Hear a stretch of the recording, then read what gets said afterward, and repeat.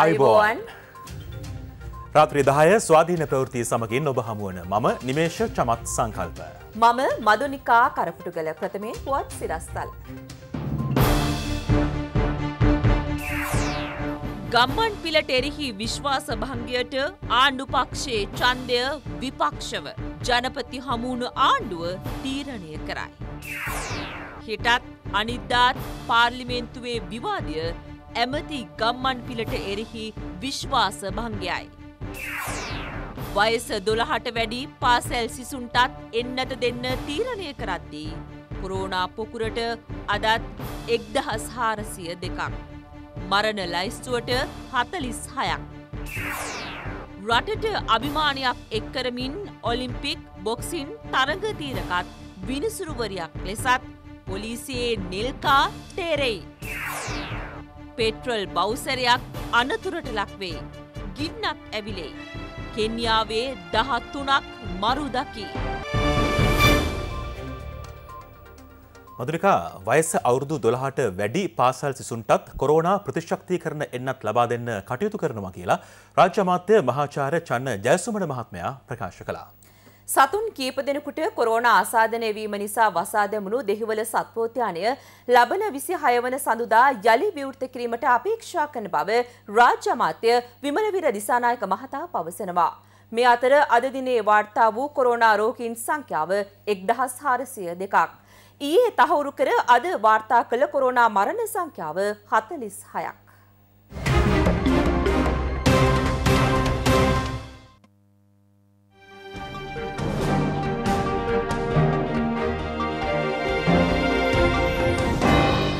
ඇත්තටම අපි අවුරුදු හැට වැඩි උදවියට මුලින් එන්නත් ගැහුවා ඊට පස්සේ 30ට වැඩි අයට ගහනවා ඊට පස්සේ 18ට වැඩි අයටත් ගහනවා ඊට පස්සේ 12ට වැඩි අපේ පාසල් ළමුන්ට දෙන එක ගැනත් අපි සලකා බලාගෙන යනවා. ඉතින් මේක මේ පිළිවෙලකට කරන්න ඕන නිසා තමයි අපි මෙහෙම වයස් කාණ්ඩ හැටියට කණ්ඩායම් හැටියට මේ එන්නත් කරන්නේ කරන්නේ. අපිට එන්නත් හොඳට ලැබෙනවා. එහෙම කිසිදු ප්‍රශ්නයක් නැහැ. මේක පිළිවෙලකට කරන්න ඕන.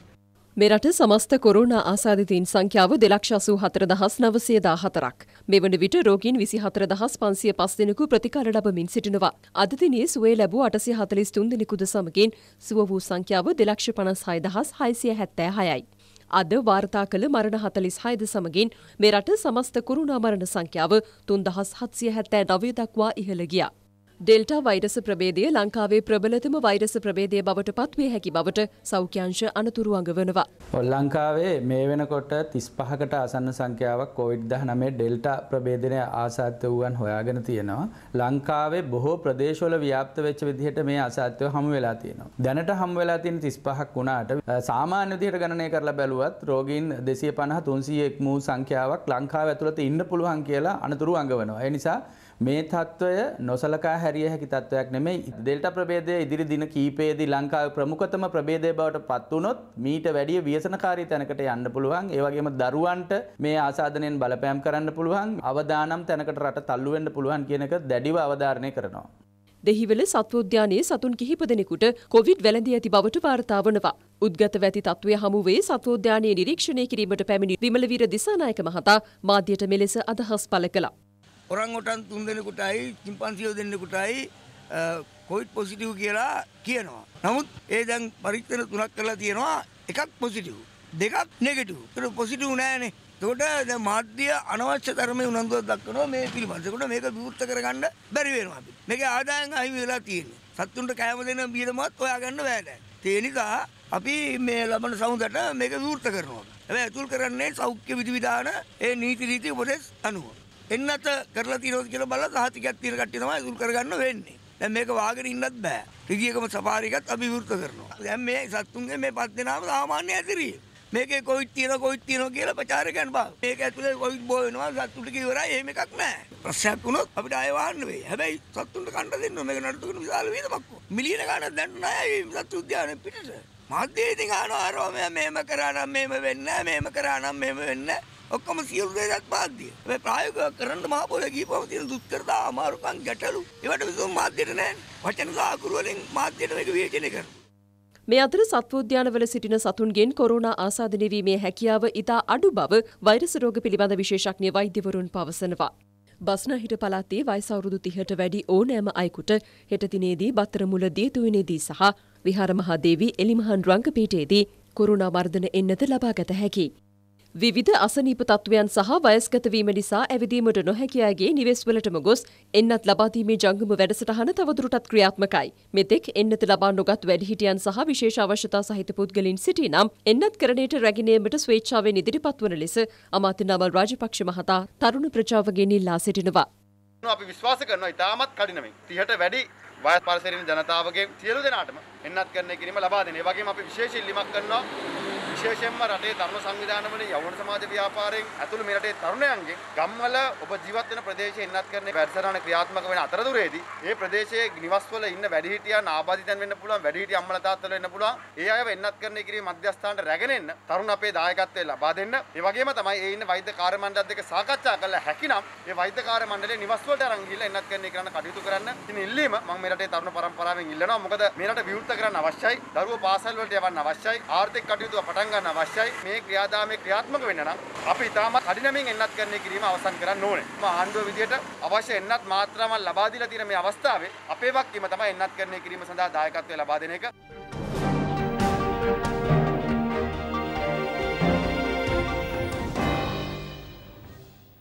ආණ්ඩු පක්ෂයේ මන්ත්‍රීවරුන්ගේ හමුවක් ජනාධිපතිතුමාගේ ප්‍රධානත්වයෙන් අද පස්වරුවේ පැවැත්වුණා. ඒ කොටුව ජනාධිපති මන්දිරේදී. නිමේෂ මේ හමුවේදී උදය ගම්මන්පිල ඇමතිතුමාට එරෙහි විශ්වාසභංගය ගැන ආණ්ඩු පක්ෂයේ සූදානම පිළිබඳවත් සාකච්ඡාවට ලක් වෙලා තියෙනවා. මේ විශ්වාසභංගය පිළිබඳ පාර්ලිමේන්තු විවාදය හෙටත් අනිද්දාත් පැවැත්වීමට නියමිතයි. අද පස්වරු හයට පමණ ආරම්භ වුණු මෙම හමුව සඳහා ආණ්ඩු පක්ෂයේ මැති ඇමතිවරුන් රැසක් ජනාධිපති මන්ත්‍රය වෙත පැමිණෙන ආකාරය මෙලෙස දක්නට ලැබුණා. අමාත්‍ය උදේ ගම්මන් පිළ මහතාට එරෙහිව විපක්ෂයෙන් ඉදිරිපත් කර ඇති විශ්වාසභංග යෝජනාවට ආණ්ඩු පාර්ශවයේ මන්ත්‍රීවරුන් කටයුතු කරන ආකාරය පිළිබඳව මෙහිදී සාකච්ඡා වී තිබෙනවා. හමුවෙන් අනතුරුව මාධ්‍ය වෙත අදහස් පළ කළ මැති ඇමතිවරුන්. ඒතකොට විශ්වාසභංගය ගැන සාකච්ඡා කරේ නැද්ද අද දවසේ? විශ්වාස බංගේ පිළිබඳ අමුතුවෙන් සාකච්ඡා කරන්න දෙයක් නෑ. මොකද උදේගම්ම පිළ ඇමත්තුම පැහැදිලි කරා ඒ මේ තෙල්මිල වැඩි කරන්න හේතුව කියලා පැහැදිලි කරා. ඒ වගේම කොහොමත් සන්ධාන මන්ත්‍රීවරයකුට ඇමතිවරයකුට විරුද්ධව තමයි විශ්වාස බංගේ ගෙනෙල්ල තියන්නේ. එකහින්ද අපි සන්ධානයක් විදිහට ඔහු ආරක්ෂා කරනවා. ඒ වගේම ලෝකෙ තියෙන තෙල්මිලත් එක තමයි මේ ප්‍රශ්නය සිදුවෙලා තියන්නේ. පිළිබඳ පැහැදිලි කිරීම අද දිනේ සිදු කරයි වගේම කල්නු සිදු කරා. එකහින්ද ලෝකයේ ගත්තත් දකුණු ආසියාව ගත්තත් අඩුම තෙල්මිල තියෙන්නේ මේ වෙලාවේ අපේ රටේ. එකහින්ද ඒ පිළිබඳ විවාදයක් නෑ මේක විපක්ෂයේ විශ්වාසභංගය අනිවාර්යෙන් අපි ආණ්ඩු විසි පරාජයට ලක් කරනවා. බැරි හෙට තියෙන පාර්ලිමේන්තුවේ වැඩ කටයුතු ගැන සාකච්ඡා කළේ හෙට තියෙන්නේ උදේගම්මන් පිළ මැතිතුමාට විරුද්ධව විශ්වාස භංග යෝජනාවක්. ඒක බලලෝභී වෛර දේශපාලනයෙන් ඉදිරිපත් කරපු රටේ ලෝකයේ පවතින දැවැන්ත අර්බුදය පිළිබඳ නොසිතා හුදු දේශපාලන වාසි තකා ඉදිරිපත් කරපු යෝජනාවක්. ඒ යෝජනාව මුළුමනින්ම පරාජය කිරීම සඳහා තීන්දුව ගත්ත. ඒ සඳහා අපි පාර්ලිමේන්තුවේදී අදහස් දක්වනවා. පක්ෂයක් විතර ජනාධිපතිතුමා අගමැතිතුමා තුළු අපි සියලු දෙනා තීන්දුවක් අරගෙන තියෙනවා විශ්වාස භංගයේදී ඒ ගේන විශ්වාස භංගයට විරුද්ධව ඡන්දය දෙන්න. හැබැයි අපි පැහැදිලිවම ඉන්න ස්ථාවරය තමයි ජනතාවට සාහන දෙන්න ඕනේ කියන එක. කොරෝනා වසංගතය සහ ලංකාවේ කොරෝනා වසංගතය නිසා ආර්ථික විශාල ප්‍රශ්නයක් තියෙන නිසා යම් කාලයක් දෙන්නෙකෝ අනිවාර්යෙන් ජනතාවට සාහන දෙන්න ඒ කටයුත්ත කරනවා කියන. විපක්ෂයේ හිටපු ගමන් මෝඩ චූන් එකකට එක එක යෝජනා ගේනවා. පාර්ලිමේන්තුවේදී පාර්ලිමේන්තු පිටදී තමන්ගේ දේශපාලන බලය රැක ගැනීමට විවිධ ක්‍රියාකාරකම් කරනවා. අපි ආණ්ඩු පක්ෂයක් හැටියට සහෝදර සියලුම පක්ෂත් එක එකට ඉන්නේ. මහිතන්න වෙනත් විපක්ෂයකට අත් නොවිච්ච ඉරණම මේ විශ්වාස බංගයේදී පැහැදිලිවම සජිත් ප්‍රේමදාස ප්‍රමුඛ විපක්ෂය කණ්ඩායමට අත්වෙයි ඒ ඉරණම ඉතාමත්ම කේදනීය ජනකයි. අපි ගමන් පිමතුමාට අපේ තෙල් ඇමතිට අපි සහයෝග දෙනවා. දැන් තෙල් වැඩි වේගෙන යනවා. ලෝකයේ දැන් ඇමරිකානු ඩොලර් 82කට වැඩි වෙලා තියෙනවා බැරල් එකක මිල. ඉතින් ඒ නිසා අපිට ඒ ගැන සැලකිලිමත් වෙන්නට අවශ්‍යයි. ඒ වුණාට ඉදිරියේදී අඩු වුණොත් අපිට අඩු කරන්න පුළුවන් වේවි. සියලු කාරණා සැලකිල්ලට අරගෙන අපි සියලු දෙනාම උදේ ගම්මාපෙළ ඇමතිතුමාගේ විශ්වාස භංගය පරාජය කිරීම සඳහා අපි කටයුතු කරන්න සාමූහිකව එකඟ වෙනවා. ශ්‍රී ලංකා නිදහස් පක්ෂය ආණ්ඩුවෙන් ඉන්නේ අපේ ආණ්ඩුව ආරක්ෂා කර ගැනීම වෙනුවෙන් ලබා දිය යුතු සහයෝගය ලබා දෙනවා. විශ්වාස භංගයේදී අපි තුනෙන් දෙකක ජයග්‍රහණයක් අරගෙන ආණ්ඩුවේ ශක්තිය අපි විපක්ෂයට පෙන්වනවා අනිද්දාට. තුමාව ජයග්‍රහණය කරවන්න හේතුව එතුමා විසින් පෞද්ගලිකගත තීන්දුවක් නෙමේ සාමූහික රජයේ රජය ගත්ත තීන්දුවක් මේ ආර්ථික අර්බුදයෙන් රටකොට ගන්නටත් ජනතාවට මේ වෙලා තියෙන ප්‍රශ්න ටිකින් ජනතාව මුදා ගන්නට අනිවාර්ය රජකරයට කටයුතු කරනවා.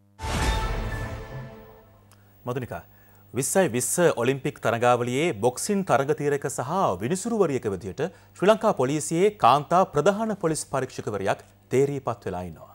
නිමිෂ ශ්‍රී ලංකාවට අභිමානයක් එක් කළ ඇය ටී නෙල්කා ශිරෝමාලා මහත්මියයි. ගාල්ල රිපන් බාලිකා විද්‍යාලයෙන් අධ්‍යාපනය ලැබූ නෙල්කා ශිරෝමාලා ආදුනික කාන්තා උපපොලිස් පරීක්ෂකවරියක ලෙස සේවයට එක්වන්නේ එක්දහස් නමසය අනූ හත වසරේදී. දෙදහස් එක වසරේ පොලිස් ක්‍රීඩා සමාජය නියෝජනය කරමින් ජාතික තරගාවලියකට සහභාගී වූ පළමු පොලිස් කාන්තා බොක්සින් ක්‍රඩිකාව වන්නේද ඇයයි. ඇය ශ්‍රී ලංකා පොලිසිය නියෝජනය කරමින් බොක්සින් තරගාවලි සඳහා සහභාගී වෙමින් ජයග්‍රහණ රැසක් අත්කරගෙන තිබෙනවා. දෙදහස් එකොළහ වසරේ ශ්‍රී ලංකාව නියෝජනය කරමින් ජාත්‍යන්තර තරගාවලයක් විනිශ්චය කළ පළමු කාන්තා බොක්සින් විනිසුරුවරිය ලෙසද ඇය ඉතිහාසයට එක්ව සිටිනවා. ලෝකශුරතා බොක්සින් තරගාවලි රසක් විනිශ්චය කර ඇති ඇය දෙදහස් දහසය වසරේ ආසියාවේ දක්ෂතම බොක්සින් විනිසුරුට හිමි සම්මානයද දිනාගත්තා. ඒ අනුව ආසියනු කාන්තාවක් මෙම සම්මානය හිමි කරගත් ප්‍රථම අවස්ථාවද වනවා. කොල්ලුපිටිය උත්තරානන්ද මාවතේ මාර්ග සංවර්ධන කටයුතු හේතුවෙන් ඇතිවන රථවාහන තදබදය අවම කිරීමේ අරමුණෙන් විශේෂ රථවාහන සැලස්මක් හෙට සිට ක්‍රියාත්මක කරනවා.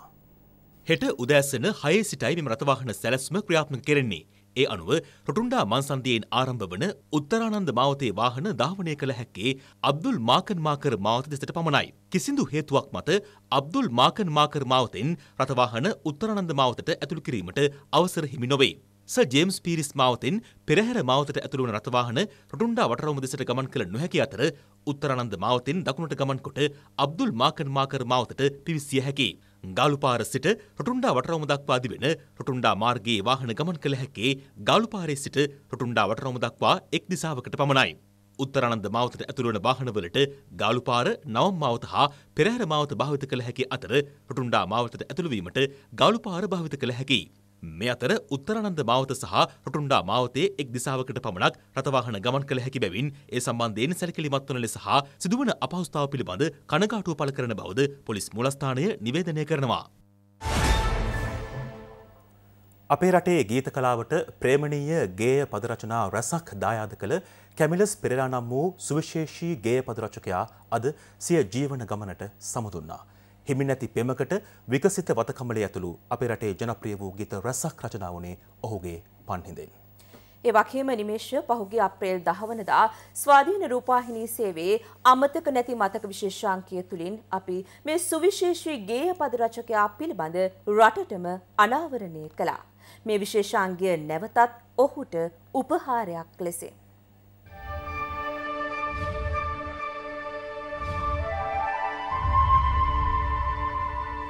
හිමි නැති පෙමකට ඉකිබිඳ හැඳුමට සිත මගේ බොලද වෙලා කැමිලස් පෙරේරා නම් ඔහු උපත ලබන්නේ එක්දහස් නවසේ හතලිස් හතවසරේ අප්‍රේල් හතරවනදායි. වත්තල සිය උපන්ගම කරගනිමින් හැදී වැඩෙන කැමිලස් පෙරේරා පාසල් අධ්‍යාපනය ලබන්නේ වත්තල ශාන්ත අන්තෝන විද්‍යාලයෙන්. පාසල් අධ්‍යාපනයෙන් පසු තම පාසල් කාලේ මිතුරෙකු වූ කුලරත්න ආර්යවංශයන් සමග ගීත රචනාවට එක්වන තරුණ කැමිලස්. මෙරට ගීත ශේස්ත්‍රයට ජනප්‍රිය ගීත රැසක් උරුම කර දුන්නා. මෙරට කලාවට අපමණ සේවාවක් කරපු මේ සුවිශේෂී පුද්ගලයා අවුරුදු අටක විතර ඉඳලා අංශභාගරෝගයට ගොදුරු වෙලා ඉන්නවා. හිමි නැති පෙමකට විකසිත වතකමලේ හදවිල ඔබ පිපුණා හදිසියේ හනිහනිකට වාසනාවේවා දුර ඈත මාතනිවෙලා ඇතුළු ජනප්‍රිය ගීත රැසක් කැමිලස් පෙරේරා නම් වූ මොහුවතින් රචනා වෙලා තියෙනවා.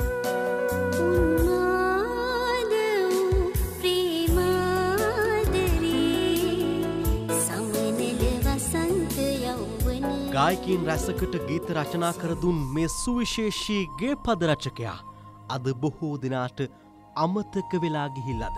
මෙරට ගීත ශේත්‍රයට දශක කිහිපයක් තිස්සේ සිදු කළ අපමණ මෙහ වෙනුවෙන් කැමිලස් පෙරේරා නම් වූ මේ සුවිශේෂී ගේ පදරචකයාට ස්වාධීන රූපවාහිනී මාධ්‍යජාලයේ ගෞරවය මෙසේ පුද කරන්නෙමු.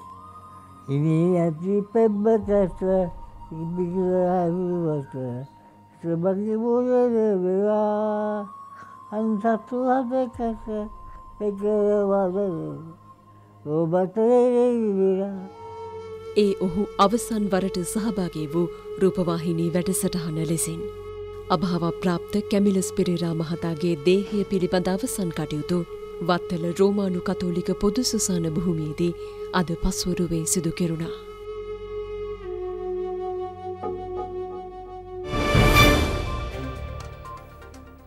මදුනිකා සියදුව ප්‍රදේශයේදී පොලිස් විශේෂකාර බලකාය සැකකටයුතු වාහනයක් හබාගෙන ගියා. මේ අවස්ථාවේදී ඒ වාහනයෙන් වෙඩි ප්‍රහාරයක් එල්ලවුණු නිසා විශේෂකාර බලකායත් ප්‍රතිප්‍රහාර එල්ල කළා. අදාළ වාහනේ ගමන් කරපු පුද්ගලයෙක් මේ සිද්ධියෙන් තුවාල ලබලා රෝහල් ගත කරාට පස්සේ ජීවිතක්ෂයට පත් වුණා. නිමේෂ මේ විදිහට ජීවිතක්ෂයට පත් වුණේ අපරාධ රැසකට සම්බන්ධ එවගේම පාතාලයේ ගෝඩ් ෆාද විදිහට තමන්ව හඳුන්ව ගත්ත ලලිත් ප්‍රසන්න පින්තු කියන පුද්ගලයා බවටයි පොලිසිය තහවුරු කළේ. එත් එක මදුනිකා මත්කුඩු කිලෝ දහ තුනක් එක්ක අස්මීර් හෙබත් ඩබල් කියන ජාවාරම්කරුවත් අතරංගොට ගන්න පොලිස් විශකාර බලකායට හැකියාව ලැබුණා.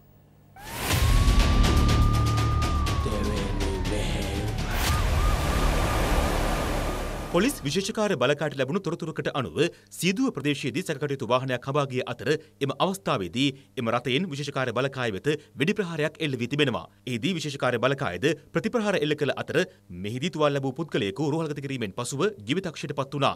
අදාළ පුද්ගලයා කටුනායක ප්‍රදේශයේ පදිංචිකරුවෙකු වන ලලිත් ප්‍රසන්න පින්තුන මැත්තා බවටයි පොලිසිය තහවුරු කරන්නේ. ඔහු දිවයිනේ විවිධ ප්‍රදේශවල සිදු වූ මනුෂ්‍ය ඝාතන, මංකොල්ල කෑම්, පැහැර ගැනීම ඇතුළු අපරාධ රැසකට චෝදනා ලැබ සිටින පුද්ගලයෙකු බවටයි වාර්තා වන්නේ. සැකරු සතුව තිබී මයික්‍රෝ වර්ගයේ පිස්තෝලයක්ද අත්අඩංගුවට ගැනුණා. රථයේ ගමන්ගත් තවත් දෙදෙනෙකු අත්අඩංගුවට ගැනුණු අතර සිද්ධිය සම්බන්ධයෙන් වැඩිදුර විමර්ශන ක්‍රියාත්මකයි. මේ පුද්ගලයා වත්තල සීදුව අකුරැස්ස මාතර අලුත්ගම රාගම ආදී ප්‍රදේශවල සිදු කරන ලද අපරාධ රැසකට සම්බන්ධ පුද්ගලයෙකු බවටයි වාර්තා වෙන්නේ. ඔහුට එරෙහිව දැනට අධිකරණයේ නඩු 20කට ආසන්න සංඛ්‍යාවක් විභාග වෙමින් පවතින බවත් ඉන් 6ක් පැහැර ගැනීම සහ මනුෂ්‍ය ඝාතන බවටත් වාර්තා වී තිබෙනවා. මීට කලකට ඉහතදී මොහු මීගමුව බන්ධනාගාරයේ සිටියේදී ඔහුට අධිශීතකරණයක් ආදී උපකරණ සැපීමක් සම්බන්ධයෙන් බන්ධනාගාර අධිකාරිවරයෙකු වැඩතහනමට ලක් වූ බවද වාර්තා වෙනවා. මේ වාහනේ සිටි අනිකුත් පුද්ගලයන් දෙදෙනා මේ වන විට අත්අඩංගුවටගෙන තිබෙනවා. ඔවුන් විශේෂකාර්ය බලකා නිලධාරීන් විසින් සීදුව පොලිස් ස්ථානය වෙත බාර දී තිබෙනවා.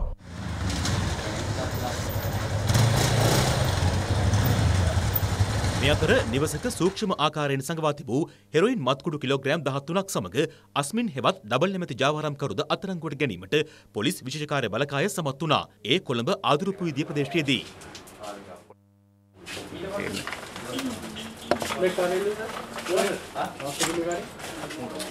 මෙම මද්‍රව්‍යවල වටිනාකම රුපියල් කෝටි 13කට ආසන්න වන අතර එම ජාවාරම මෙහෙවා ඇත්තේ සංවිධානාත්මක අපරාධ කල්ලි නායකයෙකු සිටි කිමුලා ඇලේ ගුණා නැමැත්තාගේ සහෝදරයෙකු වන සුරේෂ් නැමැති පුද්ගලයෙකු බව අනාවරණ වී තිබෙනවා. එම පුද්ගලයා ඉන්දියාවට පලා ගොස් එහි සිට මහා පරිමාණයෙන් හෙරොයින් ජාවාරම මෙහෙවන අයෙකු බවටයි හඳුනාගෙන ඇත්තේ.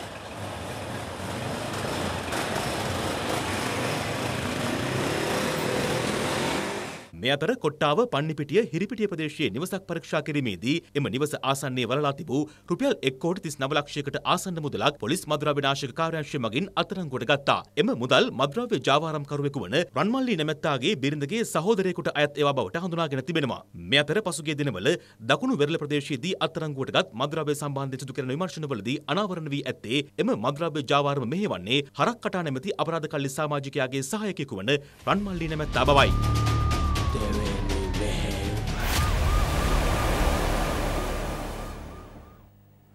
පාර්ලිමේන්තු මන්ත්‍රී රිෂාඩ් බදියුදීන් මහත්මයාගේ නිවසේ සේවය කරමින් සිටියදී මියගිය දැරියගේ දේහය පිළිබඳ පශ්චාත් මරණ පරීක්ෂණ වාර්තාව අධිකරණයට හෙට ඉදිරිපත් කරන්න නියමිත වෙලා තියෙනවා. මේ අතරේ එම දැරියගේ මරණය සම්බන්ධයෙන් විරෝධය පළ කරමින් කඳුරට ජනතා පෙරමුණ උද්ඝෝෂණයක නිරත වුණා.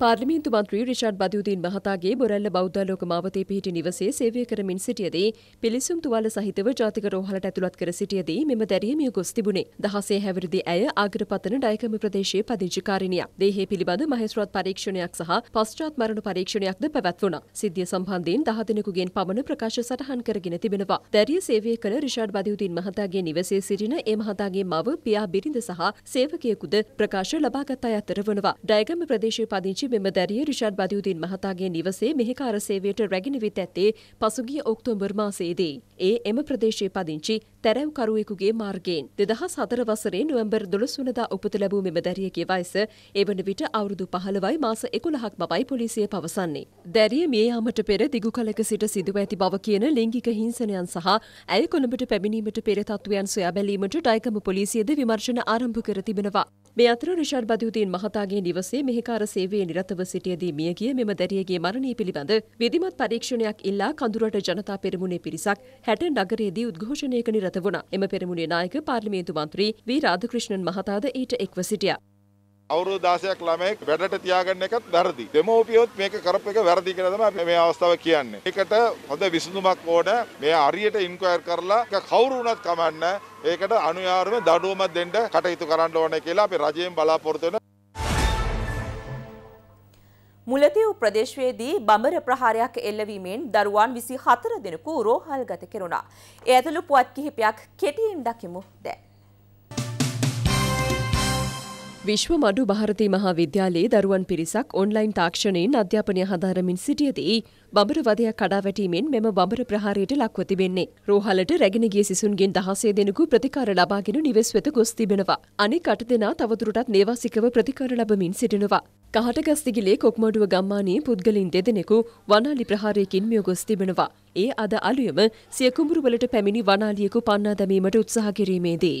මෙසේ මියගොස් ඇත්තේ කොක්මඩුව ප්‍රදේශයේ පදිංචි හැට දෙහැවිරිදි සහ පනස් නව හැවිරිදි විය පසු වූ දෙදෙනෙක්. LTTE හිටපු නායක වේලුපිල්ලේ ප්‍රභාකරන්ගේ ජීවන චරිතය අලලා නිර්මාණය කළ ඉන්දිය දෙමළ චිත්‍රපටයක් අන්තර්ජාලය හරහා ලබාගෙන අලවි කළ පුද්ගලින් දෙදෙනෙක් අත්අඩංගුවට ගෙන තිබෙනවා. ඒ නුවරඑළිය කොට්ටාස බුද්ධ්‍යංශ නිලධාරීන් විසින් නුවරඑළිය බස් නැවතුම්පොළ අසල ව්‍යාපාරික ස්ථානයක් පවත්වාගෙන ගිය පුද්ගලයෙකු සහ ඔහුගේ සහායකයයි මෙලෙස අත්අඩංගුවට ගෙන ඇත්තේ.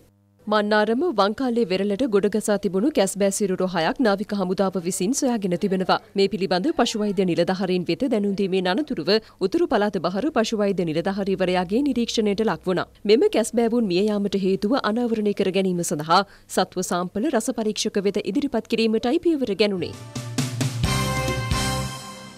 ඒ සමගින් රාත්‍රී 10 ස්වාධීන ප්‍රවෘත්ති මින් නිමාවට පත්වනවා. දැන් විපරම විශේෂාංගය. සුබරාත්‍රියක් ආයිබෝවන්.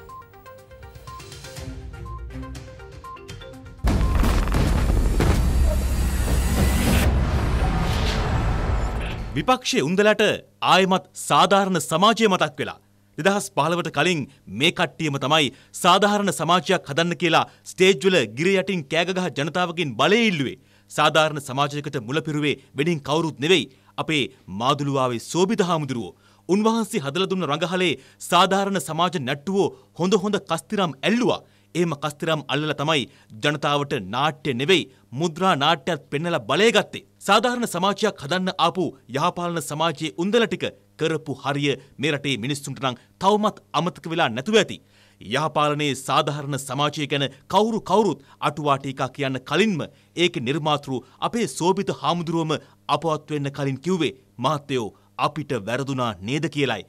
උන්වහන්සේටත් ඒක තේරෙද්දි පෙරහැර ගිහිල්ලා ඉවරයි. සාධාරණ සමාජයේ සෙට් එක රටටම කරලා පෙන්නපු අසාධාරණකම් ගැන නම් ලියන්න කියන්න ගියොත් දවස් ගානක්මයයි. මොකද ඒ තරමටම ඒක දිග කතාවක්. පටන් ගත්තේ කොතනින්ද? කෙලවර වුණේ කොතනින්ද කියලා අපේ රටේ මිනිස්සුන්ට තාමත් හොඳට මතකයි. ඒ හදපු සාධාරණ සමාජයේ මහ බැංකු අධිපති වුණේ අර්ජුන් මහේන්ද්‍රන්.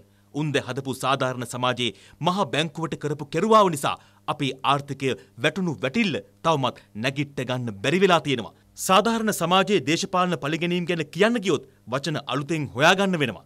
සෝබිත හාමුදුරුව හදපු කරු ජයසූරේලා වඩපු සාධාරණ සමාජයේ යහපාලන ආණ්ඩුවේ යම පාලකයන් කියපු කරපු දේවල් නිසා අද රට වැටලා තියෙන තැන ගැන නම් අපේ සෝබිත හාමුදුරුවනේ ඔබ වහන්සේ ජීවතුන් අතර හිටියනම් අනේ අපොයි කියනවමයි ගහනව ගහනව කිය කිය බුද්ධ්‍යංශ පණිවුඩ පිට පණිවුඩ තියද්දිත් ගොලුවෝ බීරෝ වගේ හිටපු සාධාරණ සමාජයේ යහපාලකයන් නිසා අපේ සහෝදර කතෝලිකයන් සිය ගානකට පල්ලි ඇතුළම අවසන් ගමන් යන්නත් සිද්ධ වුණා. එකින් එකට කියන්න ගියොත් කොහෙන් කෙලවර වේද කියලා හිතාගන්නවත් බෑ. ආයෙත් සාධාරණ සමාජයක් ගැන මතක් වුණේ දේශපාලනයෙන් විශ්‍රාම ගියා කියලා හිතපු හිටපු කතානායක කරු ජයසූරිය මහත්තයා ආයෙමත් සාධාරණ සමාජයක් හදන්න කට්ටිය එකතු කරනවා කියලා දැක්කාමයි. ඊයේත් ඒක ඒකාබද්ධ කියලා වැඩක් තිබ්බා. හැබැයි ඉතින් බැලුවහම ලාහට ගෙම්බෝ එක්කහු කරනවා වගේ තමයි. කිසිම වෙනසක් නෑ. පහළොවේ සෙට් එකමයි. මදිපාඩු වුණේ ජවිපෙ විතරයි. ශ්‍රී ලංකා නිදහස් පක්ෂෙත් එනවා කියලා ප්‍රචාරයක් ඇරලා තිබ්බා. හැබැයි පැත්ත පලාතේ කවුරුත් හිටියේ නැහැ. සුමන්තිරන් උන්නැහෙත් ඇවිල්ලා හොඳට දෙසලා තිබ්බා. අපිත් බලන් හිටියේ අලුත්ම අලුත් සෙට් එකක් එකතු වෙලා අලුත්ම අලුත් සාධාරණ සමාජයක් හදන වැඩේට සෙට් වෙන්න යනවා කියලයි. හැබැයි බැලුවම නම් කිසිම වෙනසක් නැහැ. සාධාරණ කියන වචනෙත් එපා කරපු උන්දල ටික තමයි එතන සෙට් වෙලා හිටියේ. මේකට නායකකම දෙන කතානායක වෙලා හිටපු කරු මහත්තයා කටහඬින් සාධාරණය ඉෂ්ට කරපු හැටි අර දවස් 50 පෙරළියේදී රටයි ලෝකෙයි හොඳටම දැක්කා. එහෙව් පෙරලි කරපු සාධාරණ කට්ටිය තමයි ආයෙමත් එකට සෙට් වෙලා ඉන්නේ. අලුත් බෝතලයකට දාපු පරණ අරක්කුම තමයි. කිසිම වෙනසක් නැහැ. ඒකේ රසෙයි අගුණෙයි අපේ රටේ මිනිස්සු ඉතාමත් සාධාරණව හොඳින්ම දන්නවා. සාධාරණ සමාජයක් හැදෙනවා නම් කවුද අකමැති? හැබැයි රටටම අසාධාරණයක් කරපු උන්දල ටික ආයෙමත් එකට එකතු වෙලා හදන්න හදන සාධාරණ සමාජය මොකද්ද කියන එකයි අපි හැමෝටම තියෙන සාධාරණම ගැටලුව. අදත් විපරම පිටපත සුධර්මන් රදලියගුණගෙන්.